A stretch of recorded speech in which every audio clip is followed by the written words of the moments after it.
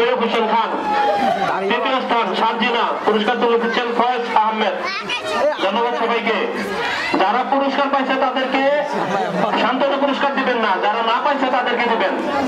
আগের খেলা দ্বিতীয় খেলা প্রথম খেলা একটু খেয়াল রাখবেন। ম্যাডামের দায়িত্ব এটা। আমাদের পরবর্তী খেলা মধ্যম দল বালক উড়াউড়ি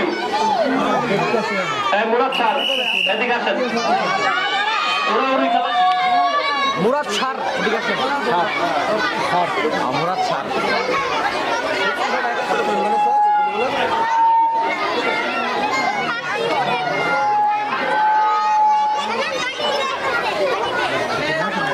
আচ্ছা এই শুনেন এই খেলার নিয়মটা ভালো করে শুনেন।